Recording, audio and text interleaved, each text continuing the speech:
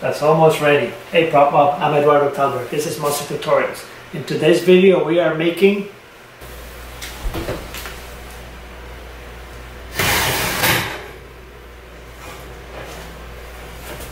delicious human face pies.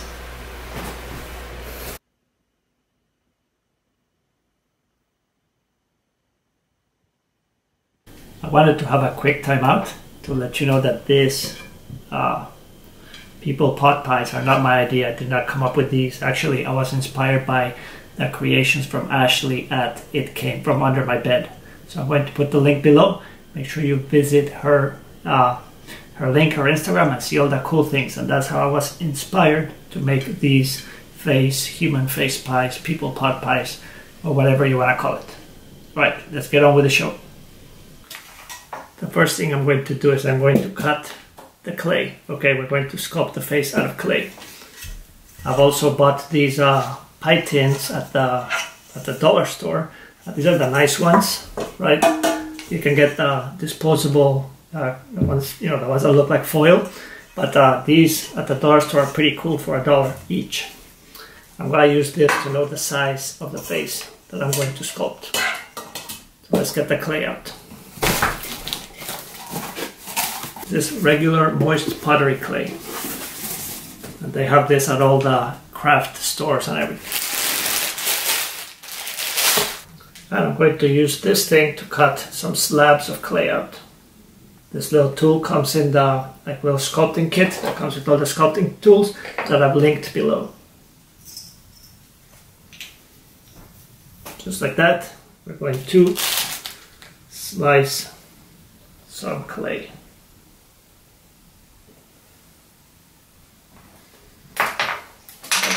The slab. I think we'll probably need just two.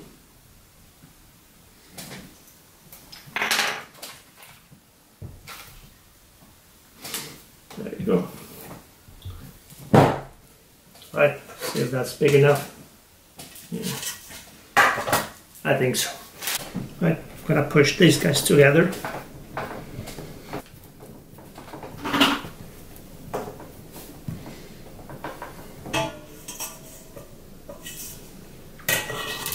Needs to be a little bit wider.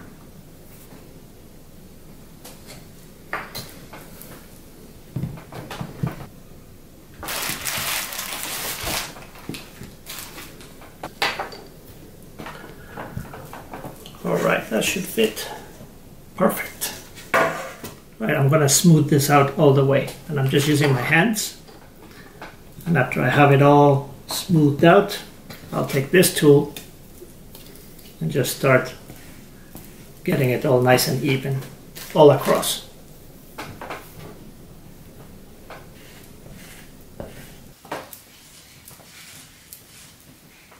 That's nice and flat. So I'm taking one of the pie tins and we're going to cut the excess off and that gives us the exact size that we have to sculpt inside of.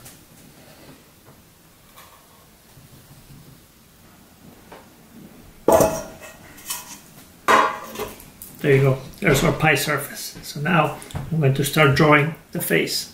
I'm looking on the internet to see the proportions of eyes, nose, whatever. It's going to be about a full size face. I'm just looking online to pick up the proportions of the face. And I'm applying them to this. So there's the forehead and that is the chin. So we build everything right here.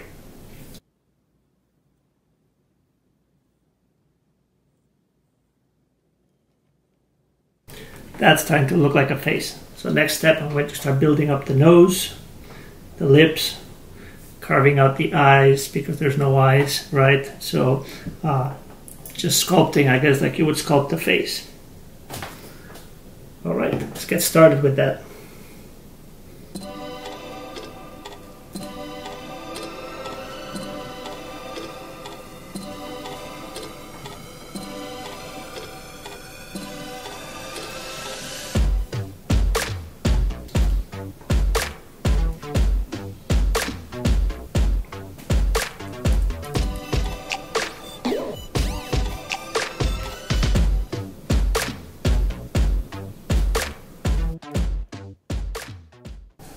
You can have this nose complete.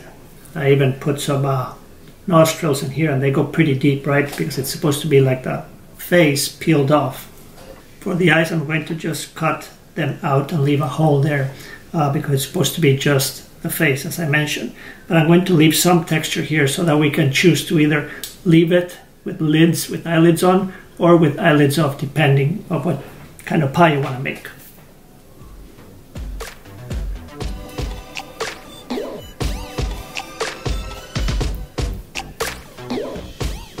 For the eyelids, just roll a little piece of clay like that and then just uh, blend it right in.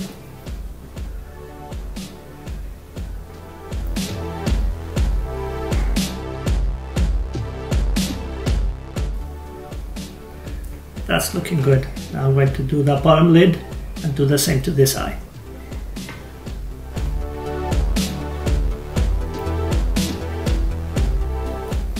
See, it uh, looks like an eye that has been gouged out. All I have to do is blend in the insides. Those eyes are looking great. So now I'm going to start with the mouth. For that I'm just going to make two lips and then flatten them and then dig the mouth out like we did with the eyes. For the lips I'm just rolling a piece of clay like this and putting it right where I think they would go. That looks like a cartoon right now. That is looking great. So now I'm going to start texturizing the skin. But first, I'm going to take most of the areas and just smooth them out with this sponge. The idea here is to get rid of the big chunky scratches and tool marks. The other thing I'm going to do is I'm taking a piece of burlap, just very gently pushing it in. That gives some pores that then you smooth out gently with this, right? And it gives you a little bit of a texture. I'm going to do this sporadically on different areas of the face.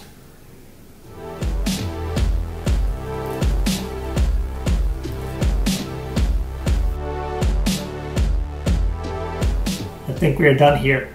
The only thing that is missing that makes this look like a pie is the crimping of the edges with the fork. So just like Martha Stewart would, let's crimp these guys.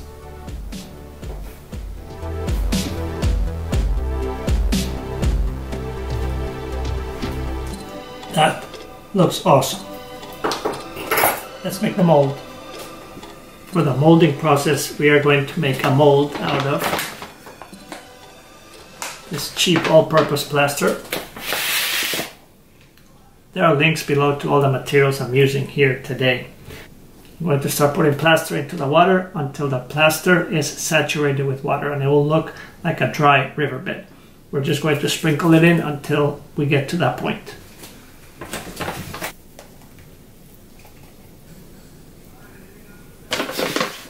That's starting to get saturated. That looks like a dry lake bed. That is perfect. So I'm going to let this sit for about 10 minutes. Give or take 10 minutes. And in the meantime, we're going to release the area around this so that the plaster doesn't stick to this wood. For that, I'm using just regular petroleum jelly and a brush. I'm going to paint all around this mold.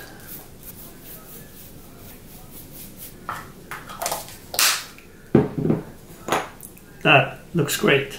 I'm going to make two wedges out of clay here on the side. Just in case it sticks, we can slide a screwdriver and lift the mold.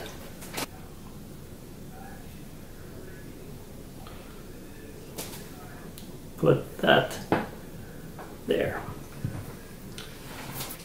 All right, next step. Let's mix this really, really well. I'm going to use my hands, but you can use gloves because if you use this too long, it'll start drying up your hands.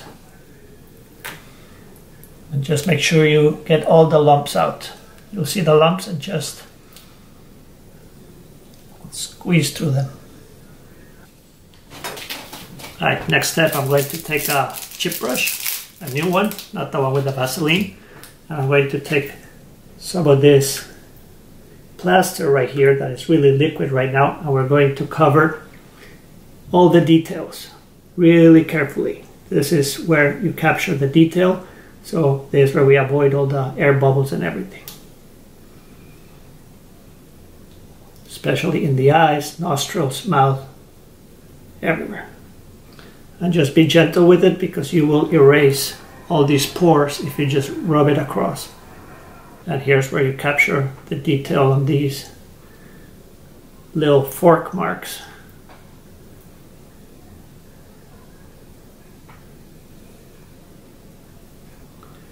Right, I got all the detail of the face. Now let's get these edges right here.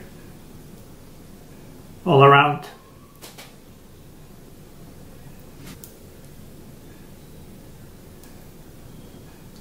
We are basically making a flat latex mask here. Now let's start just piling up another layer of plaster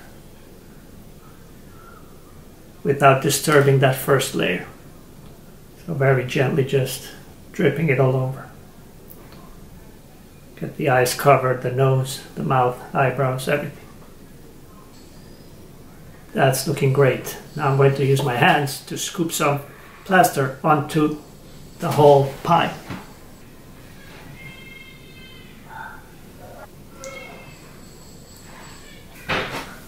As you can see, it's thickening up and it's starting to give us a little dome shape. I'm gonna let this thicken for about five minutes and then I'll go with another layer. For this next step, I am taking some of these burlap strips and dipping them in the plaster, then wringing them up real good. You don't want to push them in, but just lay them just nice and flat on your work. This will strengthen the mold in case you want to use the mold to make more than one pie. I plan to make maybe a few, so I want the mold to be nice and strong.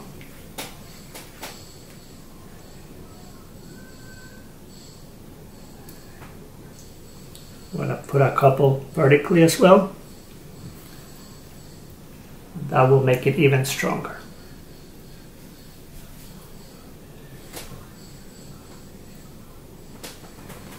That's perfect. Now let's keep layering the plaster on top of this. That's looking good. So it's starting to build up as you can see and the plaster starting to thicken. So I'll keep doing that until we use up all the plaster. I want to get about at least three quarters of an inch thickness all around.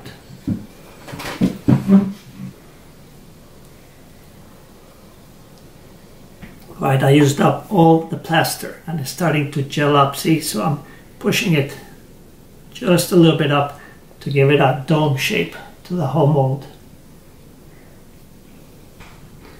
I'm not disturbing the top, I'm just moving the plaster up a bit. Alright, this is looking great, so all I'm doing is just smoothing it out. That's looking great, so I'm gonna let it set. I'm going to probably let it set for a few hours, I'm just gonna go have dinner and then come back and check to see. This will go through an exothermic reaction where this will warm up and then cool down and then it will harden all the way. Alright, we'll see you in a minute. I let this set overnight. It's nice and solid, still a little, you can feel a little moisture on it. I use this blade to kind of clean the edges real well, right? Now I am taking a screwdriver because this is a really flat mold. It has a bigger risk of breaking, right? When you have a round one like that, you just lift it and you're good, but this is pretty flat. So I'm going around with this screwdriver and just tapping the edges every two or three inches just to lift the whole mold uh, gradually.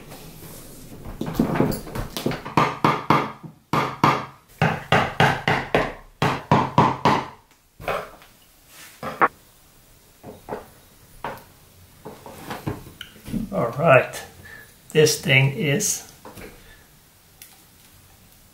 done very gently flip it over and we're going to take this clay out of here.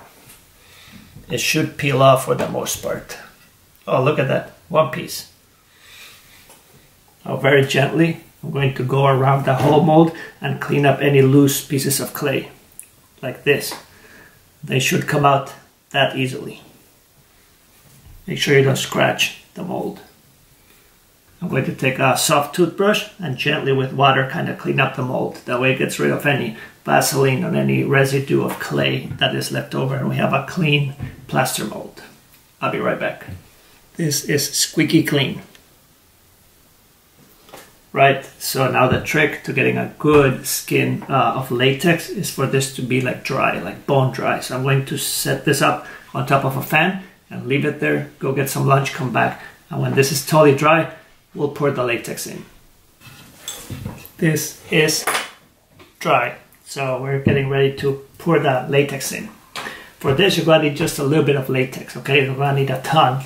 Uh, we're going to fill it up, maybe until it covers the details, the eyes and the mouth, just barely, because that's going to be cut out anyway. Uh, and we're to let it sit there for about, I'm guessing, about half hour. Okay, so for that, I'm using this uh, new uh, mask making latex from Black Lagoon. This video is not sponsored by them, but they did send me this little sample for free. Okay, so I'm gonna try it out to see how it works. This is mask making latex, which is different than the liquid latex you get at Walmart. This is thicker, okay? Smells like latex. I'm going to take this chip brush, it's disposable. I'm going to brush the latex all around the mold to make sure we capture all the detail. Okay, once we've captured the detail with a thin layer of latex, we'll pour the rest in and let it dwell.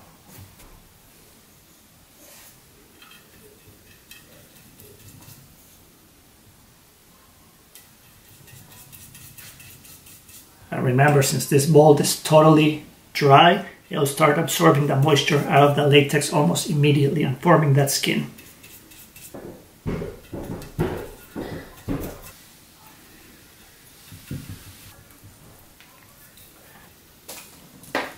After this, just pour the latex in.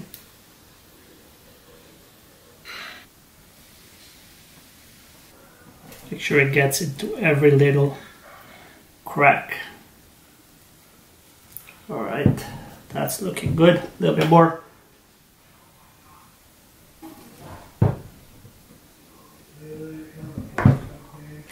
That is perfect right there. Let it sit for half an hour.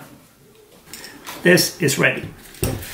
The next step is to pour the excess back into the tub.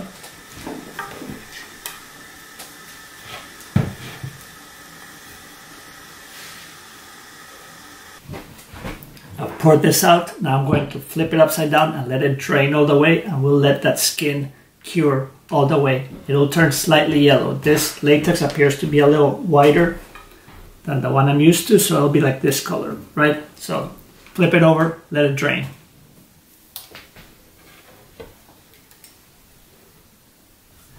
This is cured. I let it cure overnight because this latex is a little bit thicker than your regular liquid latex. But it's now nice and solid, so let's peel this out and see what it looks like.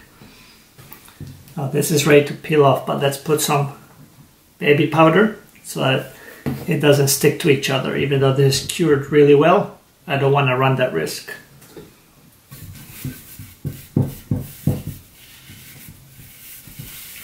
Right, that's not tacky at all.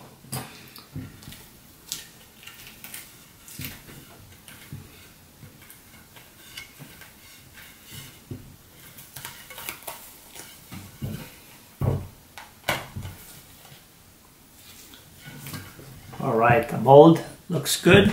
Pull it gently so that you don't mess up the mold. And there is the raw pull. All right, that looks great. So now I'm gonna take some scissors and trim this whole edge. If you wanna leave the eyes, you can leave them. I'm going to trim them out for this one. I'm going to make a, several more pulls out of this mold. Uh, but for this one, I'm going to cut the mouth out, the eyes out, trim all this. Uh, so let's get started with that.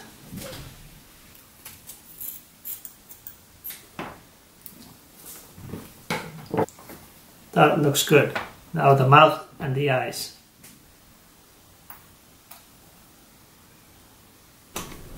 That's cleaned up. I cut the eyes and the mouth out, right? This one, I poured it into the mold and let it sit there. And this latex is pretty thick. So when I poured it out, it still made like a really thick, like almost an eighth of an inch thick pie crust. Okay, that's pretty cool, pretty sturdy. If you want this for a serious prop, this is it. For this one, much thinner, I just took a brush and dipped it in there. Nice. so I took a brush and I just brushed into the mold. Very thin, you can see the brush strokes, can you see that? Right? Uh, so I just brushed it in, let it sit, and got this pie crust that is super thin. Once we cover it, you won't see the brush strokes. So next step, let's set that aside. Got my pie tin and my exploding expanding foam. And uh, I'm just going to put a couple layers here, let it expand, and then we'll trim it when it's cured. And this will be our pie filling. Now while these cure, I'm setting them aside. I'm working on these. So if you want a raw pie, the color that this latex cures looks exactly like raw pie dough, right? So if you want to have one in a fridge that hasn't been baked yet, just leave it. It looks great. But that's not what we're doing here. We need to paint these. So there are many ways you can paint these. You can use an airbrush, which I will use on one of these. It's a little bit fancier. And you can also quite simply use paint and brush it on top.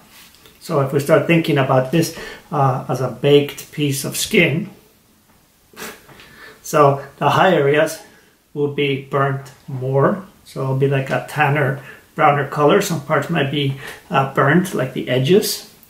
Uh, also the edges around the eyes, nose, whatever. And you also have some flesh, because they're supposed to be like a skin. So the insides will be a little bit redder, a little bit more, uh, I don't know, rare, I suppose. I mean, how do you put this, right? So let's start just painting this, brushing, see what it looks like. Uh, first thing I'm going to do is just give it a glaze of a more baked color, something a little more orangish, brownish color. For this paint job, I have some paints right here, right? In colors that I think is what a baked pie would look like. And we're going to start just painting the whole mask with that color.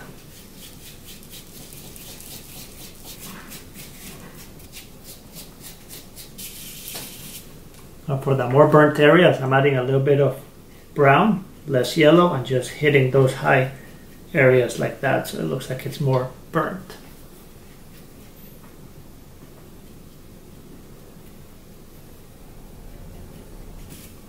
This brown and white, I'm doing this dark spots that are more burnt, right? And it starts jumping out. See that? Looks like a baked good right now how the edges are also nice and crispy so I'm gonna do those brown as well and just vary how dark or light you do it different parts of the edges you want a crunchy crust Alright, for the really burnt spots, use black, but be very careful because you can ruin the whole thing with black. You just need a few little touches on a few edges. So instead of adding the black directly, I'm going to add it to the brown and mix brown with a little bit of the black to make a darker burnt color. And still adding a little bit of white to carry it. And very, very gently, like I said, the very highest spots. This is the part where you left the pie just a little too long in the oven. Get a little charred eye maybe right there. Yeah, looks good. Don't forget this edges too, so we're gonna have to come around and burn them as well, just like that. That is looking good. So it's gonna go on the pie like that, and we'll have pies, but we still have some touch up to do. We also have to trim this. Going to take the pie, which looked like this, and start shaping it down with this bread knife. And all I want to do is to be flush with this edge, but going up a little like a normal pie and back down to the other edge.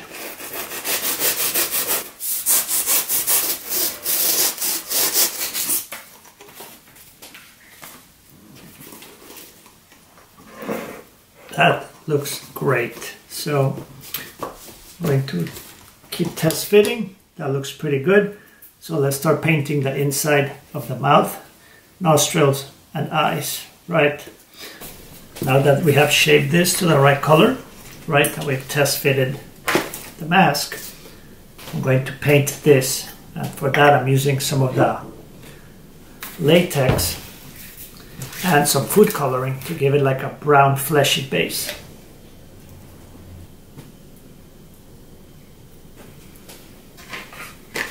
Here's some regular cheap food coloring. You can find this at your grocery store or at the dollar store they have too. It's going to be mostly red with a few drops of green to make it brown. Need a little bit of green.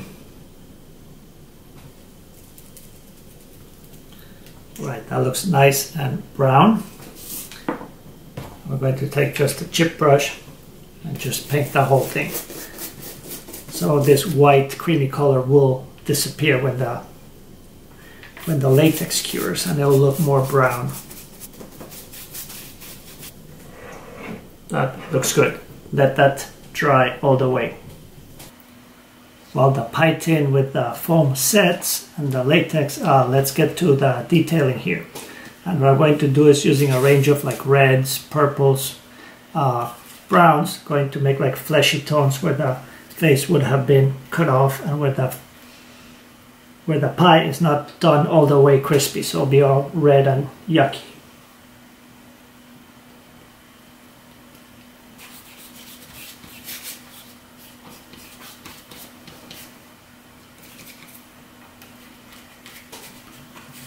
All I'm doing is rubbing the color in so it looks nice and bruised. Nice. Now let's do the eyelids.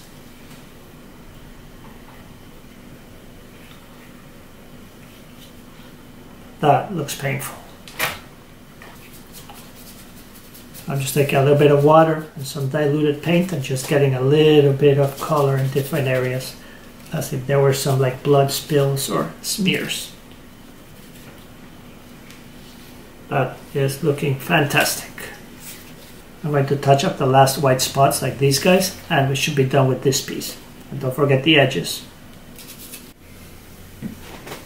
This is nice and nasty. That is the latex that has cured. It cured darker as I mentioned. So now we can take our finished pie face and just lay it on top. And we can tack it down with some liquid latex. I'm going to use this that I spilled right there. Uh, if you want, you have some of these holes and you want to line up with, with your mouth is like that, you can do that too to make it look nasty. Alright, so let's line this up and get some liquid latex going.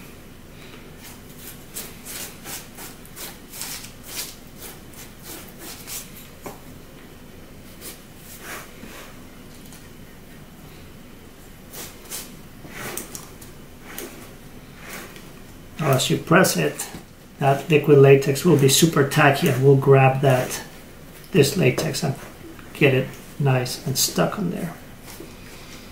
Kind of like that. So there is most of the pie. I can decorate this many ways. You know, we did uh, on this channel we did some shrunken heads and they had hair that was punched in. We can punch in some hairs for the eyebrows if you wanted. Put some hairs in the nostrils. You can put a mustache if you want right? But if you do put a mustache or eyelashes or whatever, then take a lighter and singe them off a little bit so it looks like it was baked, obviously. Let's, let's get even more macabre here, okay? So I'm going to decorate this. You can add teeth. You can do all kinds of things. Uh, to decorate it, uh, I bought this. There's a link below if you're interested in using these. Although you can make your own because I have also a tutorial for making teeth out of hot glue. But I bought this set of teeth from uh, Amazon, and the link is below. And these are used to make temporary crowns and uh, all kinds of bridges. So they are very realistic.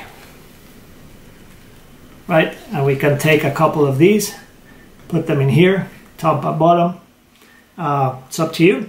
And uh, let's see what they look like. Okay, here's a incisor. top left. We can just uh, glue it with uh, liquid latex. It'll hold real good in there. Right, and maybe we can put a couple bottom teeth as well. There are some teeth right there. And uh, you can add bits and pieces of uh, crumpled up red liquid latex to make it look like flesh as well. I took the liquid latex and just painted it right here on my table. Now we can just peel these pieces off.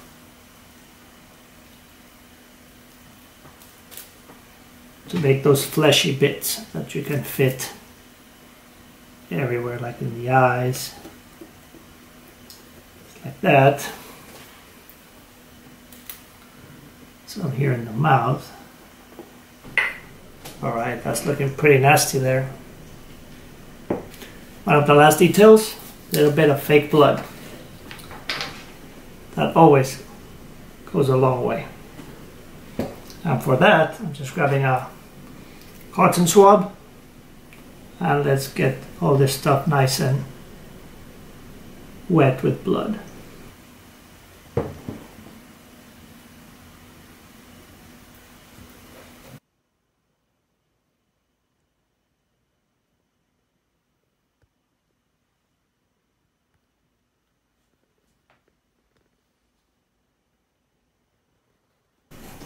That is so creepy.